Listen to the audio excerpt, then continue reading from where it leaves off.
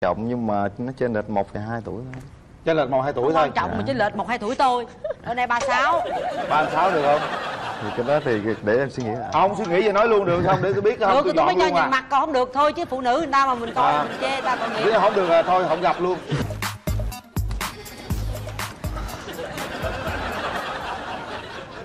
Gì vậy? Ngại quá anh ơi anh có căng thẳng không? Dạ không bình thường anh. Tôi thấy hơi run nha dạ không em bình thường. Hả? Anh tên gì? Dạ em tên nguyễn hiếu nghĩa. Bao nhiêu tuổi anh? Dạ em ba hai giọng nói sao nghe già quá vậy? Xin lỗi đây trẻ măng à. Bòm gì thôi làm gì? Kỹ sư xây dựng anh. Trời, dòng thổ à dòng này hát hay lắm mà rất là trầm. Rồi, và bây giờ mời bạn nữ của chúng ta bước ra sân khấu.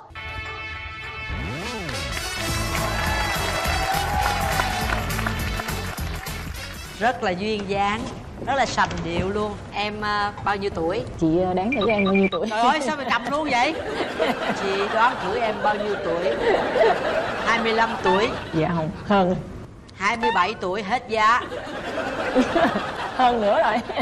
Chẹt ở giá qua để lát lên kia đón luôn. Em tên gì? Em tên là ngọc bích.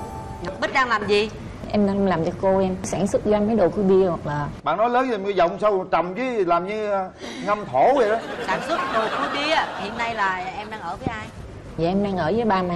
Đẹp như thế này mà không có bạn trai thiệt không á? Thiệt. Để mất công tôi mai mối à. Rồi Thiệt bỏ mà. người ta tội người ta lắm à. Chắc chắn đúng không? Dạ. đến đây tìm bạn trai đúng không? Dạ đúng rồi. Rồi. nếu ờ, nếu mà em có bạn trai rồi em em đâu đến đây nữa. Vậy thì em muốn bạn trai của mình là người như thế nào? Thiệt thà và ờ, vui tính bây giờ bạn trai nhỏ tuổi hơn em chịu không? Nãy giờ chị hỏi em bao nhiêu em cũng không chịu hết trơn. Nhỏ hơn em mà nhìn mặt già cũng được. Tuổi nói em mặt già hả? Ăn thua là cái mặt thôi đúng không? Dạ. rồi anh làm nghề xây dựng thường đi nhiều công trình đúng không? Dạ. Rồi quen rất là nhiều chủ nhà đúng không? Dạ. rồi chủ nhà có nhiều cô gái rất là xinh đẹp đúng không? Dạ. Có quen rất nhiều cô gái luôn đúng không? Dạ không.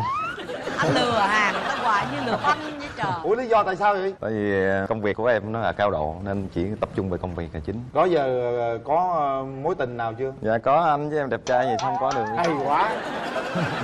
Mấy mối tình rồi? Ba bốn vậy anh. Dạ. mối tình à, mới nhất đây đi. Coi như cách này một năm mà em không quen ai. Hồi nãy hiếu nghĩa nói là hiếu nghĩa nói bao nhiêu tuổi chị không nghe rõ. 32 tuổi. 32 hả? Bây giờ nếu mà bạn gái lớn tuổi hơn mình được không? Cái vấn đề tuổi tác thì em cũng không quan trọng nhưng mà nó trên lệch một và hai tuổi thôi chênh lệch một hai tuổi không thôi. quan trọng mà chênh lệch một hai tuổi tôi. Ở đây 36 ba sáu được không? Thì cái đó thì để em suy nghĩ lại. Không suy nghĩ vậy nói luôn được không? Để tôi biết không được tôi tôi mới cho luôn nhìn à. mặt còn không được thôi chứ phụ nữ người ta mà mình coi À. mình chê ta còn nếu không được là thôi không gặp luôn. Hả? Đồng ý không?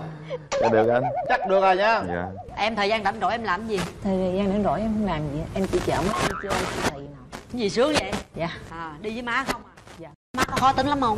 Dạ không má em dễ tính má có nói là con ờ, kiếm ờ, chồng là con kiếm người như thế nào như thế nào không? Dạ má nói là ờ, nhớ tìm chồng là phải có công công việc làm ổn định. À, biết lo lắng cho mình là được rồi. À chứ không có đưa ra yêu cầu tánh tình sao hay là vóc dáng sao rồi gì hết trơn hả dạ mình má nói là cái tính tình là vui vẻ được rồi đừng có gia trưởng quá. Cái tiêu chuẩn bằng à, bạn gái của anh như thế nào? Em không dám đòi hỏi cao quá anh à. Tại năm điểm thôi. 5 điểm thôi hả? Dạ. đơn giản vậy. Và thích người à, phụ nữ là năng động sáng tạo hay là người phụ nữ lúc nào cũng ở nhà lo cho chồng cho con hết? Em thích một người phụ nữ anh lệ năng động. Năng động? Dạ. anh lệ tức là Mạo hiểm. đại đúng không? Dạ. mạo hiểm luôn. Dạ. Ủa tại sao vậy? Em thích kinh doanh lắm anh. Ừ. nếu mà có một người vợ mà trùng cái ý của em á thì tốt rồi không thích người bạn đời của mình về những cái gì? Ghét nhất là em ở dơ.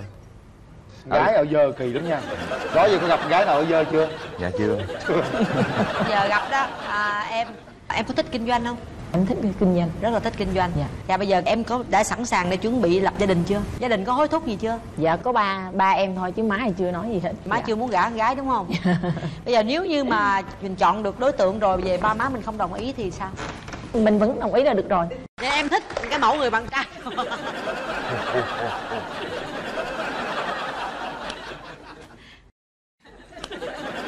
Áo mặc sao qua khỏi quần? Im ủa ba má em khó, khó không? Dạ không ba má em dễ. Dễ hả? Nhưng mà thí dụ ba má không chịu cũng cũng chịu luôn hả? Dạ hạnh phúc cho mình thôi chứ không phải do ba má mình. Rồi rủ ba má giận rồi từ em luôn sao? Nếu mà ba má không chịu thì mình cứ thuyết thuyết phục. Ồ, vậy là muốn chồng quá ông nội ơi thuyết phục cho bằng được luôn.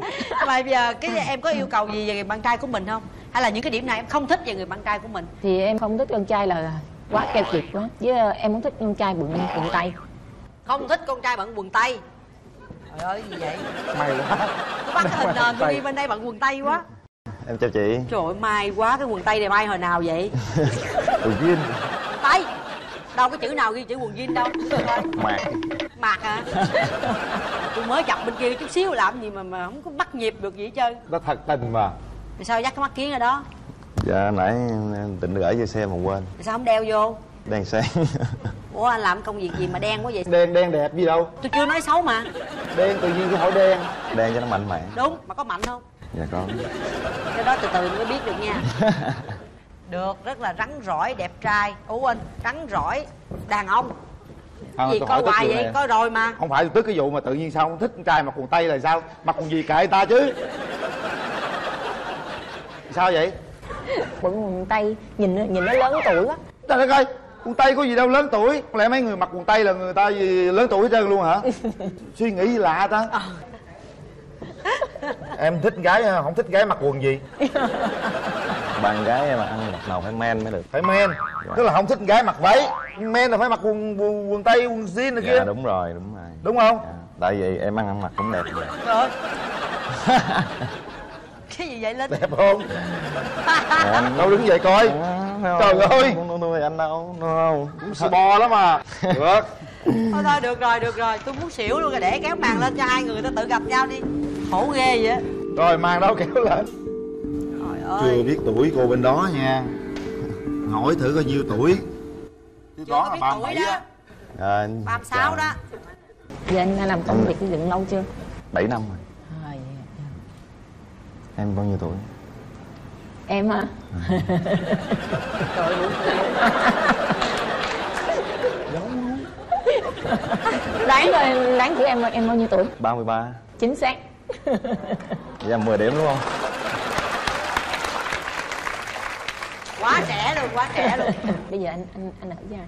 Anh đang ở với ông bà già. Trong thành phố nữa mà. Không ở Cần Duộc. Nhà em ở đâu? Dạ nhà em ở sài gòn này. Sài Gòn ở quận nào? Dạ nhà em ở quận 10 Đường nào? Dạ đường uh, lý tổn À lý tàu hết giờ. Trước khi mà cái màn kéo xuống á à quên hết giờ là đâu kéo xuống nữa. Chết mà mình anh này anh tự tin quá làm em khớp để em coi em kêu ảnh bằng anh hay kêu ảnh bằng cưng không giờ hết giờ dẫn cái chương trình bạn muốn hẹn hò. Tại vì cái thời buổi bây giờ nếu mà một người đàn ông mà không tự tin, không bận ảnh thì em nghĩ không làm gì được. Từ bữa dẫn cái chương trình bạn muốn hẹn hò đến giờ chưa thấy cái bạn trai nào nói chuyện bạn gái mà phong cách tự tin như ảnh. Em đã chuẩn rồi, không cần phải chỉnh luôn. Đó. Có điều anh khiêm tốn một xíu. Trời ơi để tôi khen được rồi. Bắt tay tự khen mình kỳ được á cái này được nè. Rồi bây giờ đưa tay ra phía sau thành ghế. Chúng ta sẽ có ba khắc đếm một. Hai. Bấm bấm lúc nào anh? rồi rồi. Được chưa? Giờ rồi được cái nút chưa? Rồi, rồi một. Hai. Ba.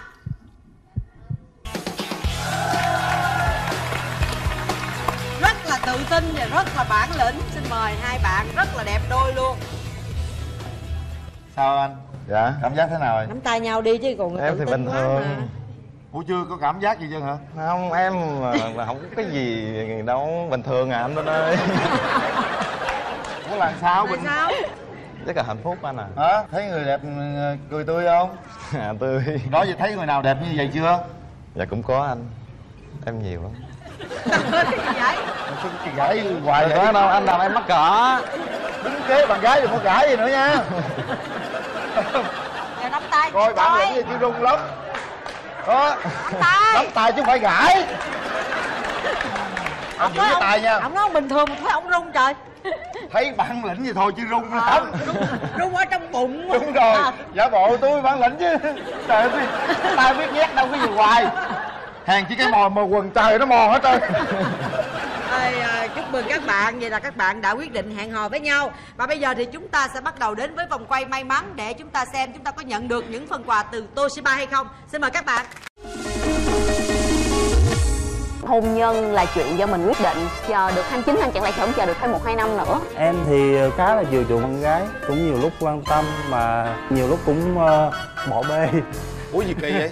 Mời bạn nam chào anh Nguyên Linh chào chị Cát Tường chào các khán giả thôi đi bạn mời bạn nữ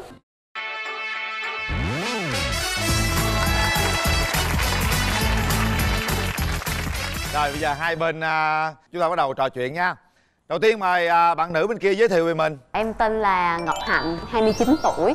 Hiện tại em đang làm quản lý tại công ty nghiên cứu thị trường. Công việc chính của em là làm việc với lại các nhà bán lẻ tại thị trường Việt Nam. rồi quê em ở đâu Dạ em sinh ra ở đây. rồi bạn trai mời em giới thiệu. Dạ em tên là Thọ Phạm Hữu Thọ.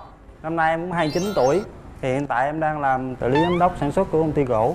Quê bạn ở đâu? Dạ quê em ở Tây Ninh. Như làm ở thành phố hồ chí minh hả? Ờ, hiện tại em đang làm ở Củ Chi.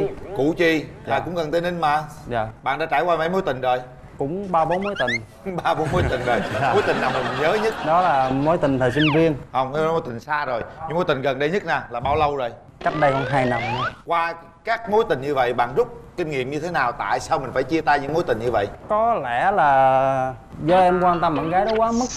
Nhiều lúc ờ, quan tâm quá mà nhiều lúc cũng ờ, bỏ bê. Ủa gì kỳ vậy? Quan tâm quá thì thích chứ có gì đâu mà. Cái đó em cũng không hiểu.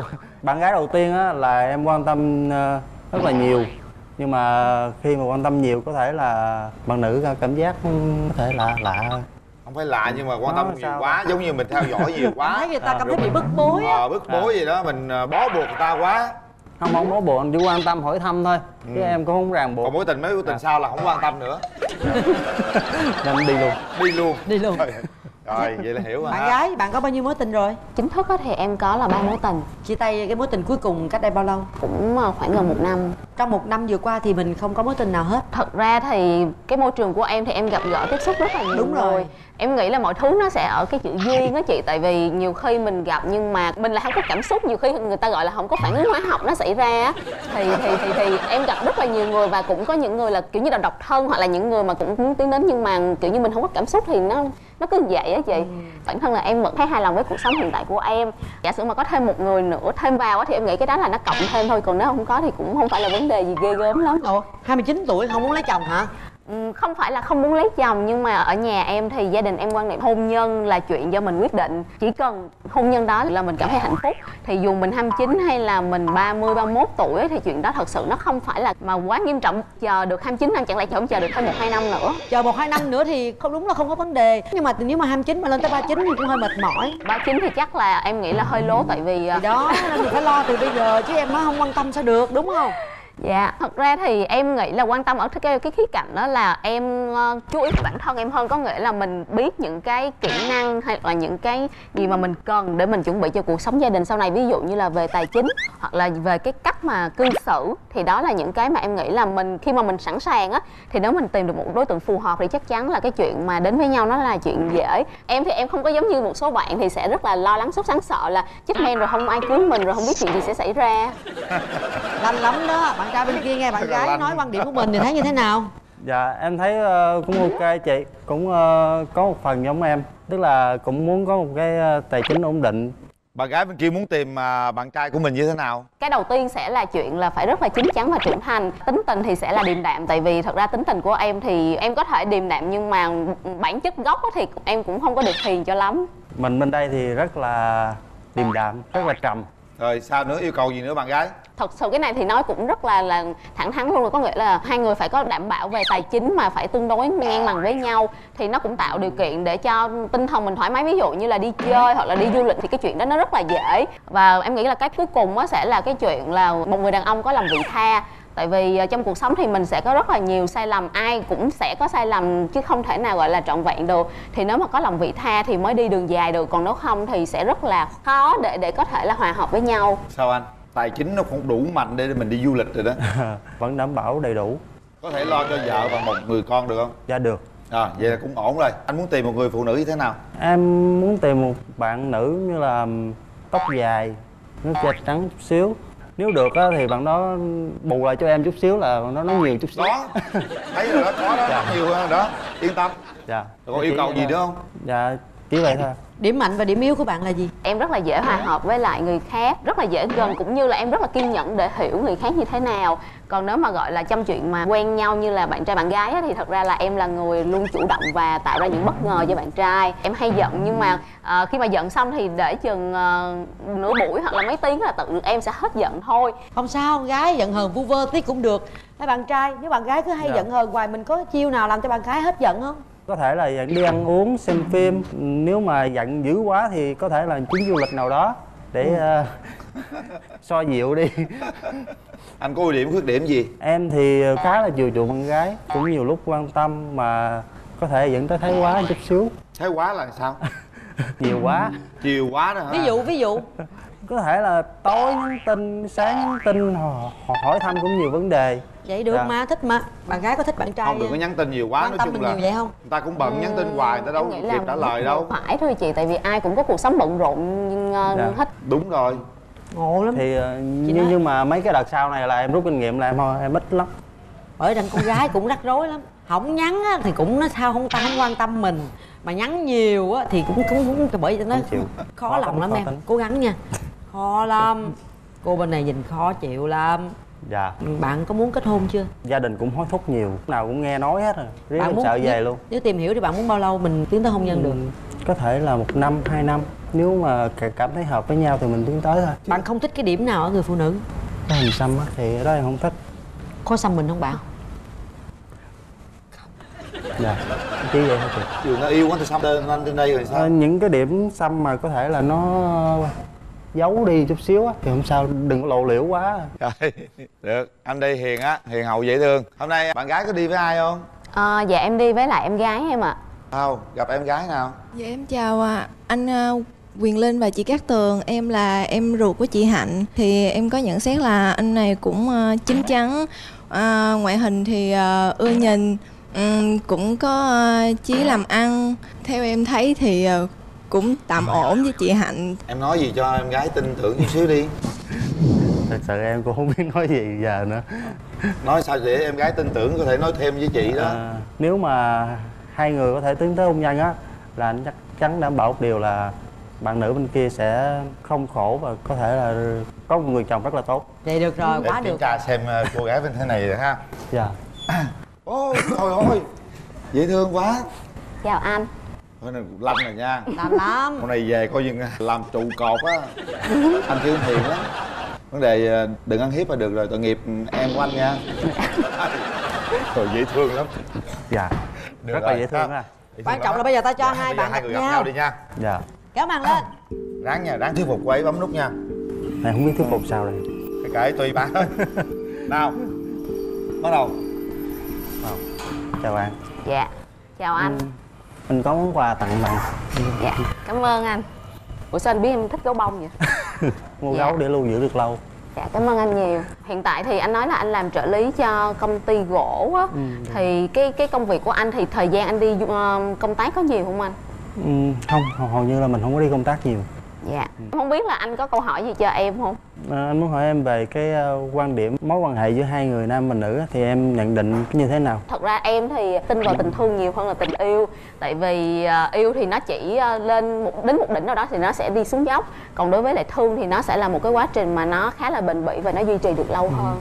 Còn về anh thì anh cảm thấy nó là giống như sự chân thành và chia sẻ về công việc về xã hội về gia đình. Khi mà đi đến hôn nhân á, thì em nghĩ là nó dựa trên nhiều về cái sự chân thành và hai bên cảm thấy với nhau như thế nào có tiến tới được hay không? Em thì nghĩ là nó sẽ thêm một cái yếu tố nữa là sự hòa hợp anh. Tại vì nhiều khi chân thành á, mình rất là thành thật. Nhưng mà nó sẽ phải là một cái sự hòa hợp thì anh sẽ thấy nó đồng điệu. Và và như vậy thì nó sẽ đi với nhau là trên đường dài. Ờ, Em có câu hỏi cuối cho anh thôi. Điều gì anh ghét nhất ở phụ nữ? xe xua đi đời Cụ thể là gì vậy anh? thì có thể là mình hiện tại mình thấy bạn bên kia có cái đồ giá trị hơn mình á thì mình bắt buộc mình phải mua được cái đó cho bằng được. Hoặc là mình trang điểm quá lè loẹt nó sẽ thành ấy. hỏi thật là anh có thấy tim mình sao xuyến hay rung động chút xíu gì không? Rất là nhiều. Đập thình thịch luôn anh và bạn nữ khá là xinh. Đối với em thì em nghĩ là anh là một người ờ, khá là thành thật. Ờ, cũng như là chân thành giống như là cái mà trước giờ anh ờ, vẫn nói và vẫn thể hiện. Thì ờ, nếu mà em không có duyên làm người yêu của anh á thì em nghĩ là nếu mà làm bạn với anh á thì cũng là một cái em cảm thấy rất là may mắn. Nhiều người đó làm bạn không á tới đây á mình gặp nhau là cũng có thể là một cái duyên rồi. Thì nếu được á thì mình cho nhau một cơ hội để ờ, tìm hiểu nhau hiểu nhau nhiều hơn mình có thể tiến tới hôn nhân hoặc lâu dài hơn. Rồi bây giờ thì quyết định thôi. Tuy rằng có 3 tiếng đếm nhưng rất là thiêng liêng đối với chúng ta. Suy nghĩ nó thật kỹ. sẽ là một ngày rất đẹp để hai người tìm hiểu nhau. Có 3 tiếng đếm để quyết định điều đó. Một hai. Ba. Hết thời gian.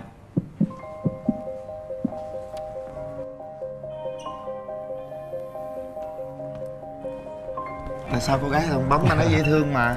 Ờ, em thì em em đồng ý với anh là anh này rất là dễ thương. Thật sự là cái, cái cảm xúc mà em ngồi đối diện với anh này á, là của một người bạn. Nếu em không cảm thấy là tim em đập bình bịch. Thì em nghĩ là làm bạn trước á, thì nó sẽ dễ hơn. Rất là đúng dạ anh nghĩ rằng à, chúng ta hãy thật với nhau ngay những giây phút ban đầu. Biết đâu sẽ là những người bạn tốt và điều gì đến nó cũng sẽ đến thì sao? Đó là quyết định của hai bạn chúng tôi luôn tôn trọng. Và đây là nước xịt thơm miệng thảo dược ơn chị. gửi tặng cho hai bạn. Dạ cảm ơn chị. Rồi chúc hai bạn sẽ sớm tìm được một nửa yêu thương của mình và chúc hai bạn sẽ thật thành công trong cuộc sống